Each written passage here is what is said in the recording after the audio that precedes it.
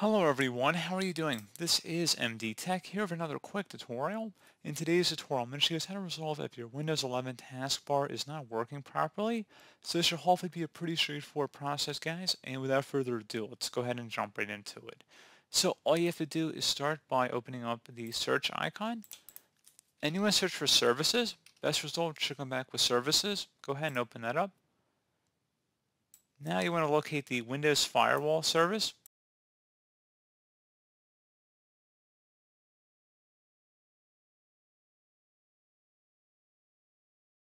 And it might be called Windows Defender Firewall. Go ahead and double click on that. You want to make sure startup type is automatic and the service status is running.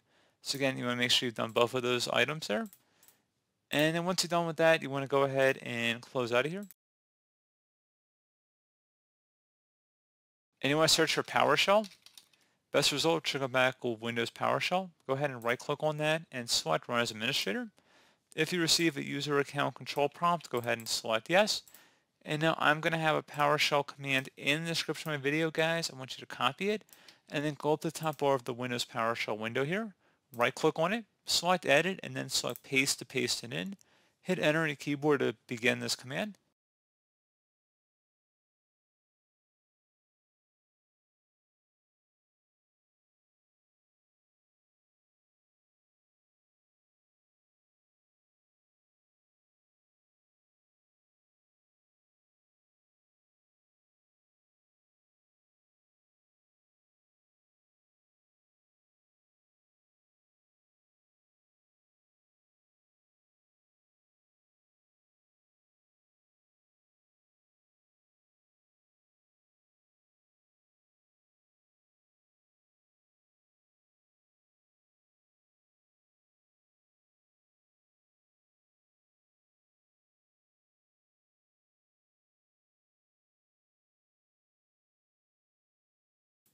Okay, so once you have blink cursor at the end, don't be concerned if you see a little bit of red, that's okay.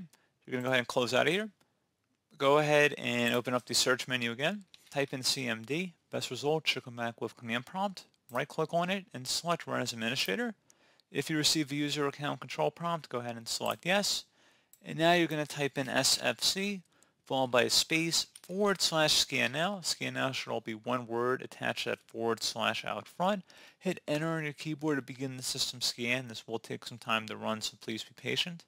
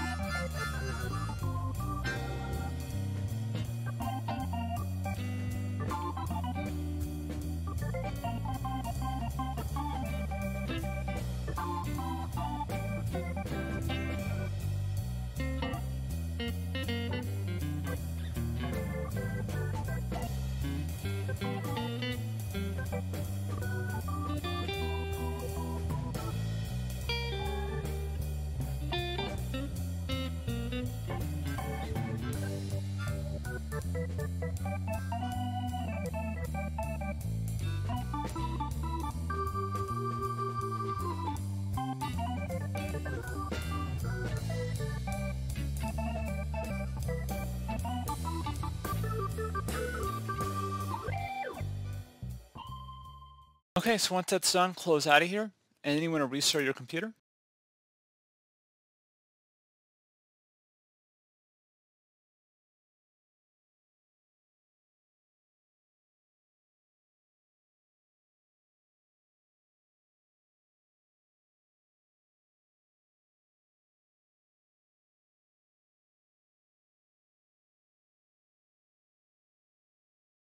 So there you go guys, pretty straightforward process. Do hope I was able to help you out, and I do look forward to catching you all in the next tutorial.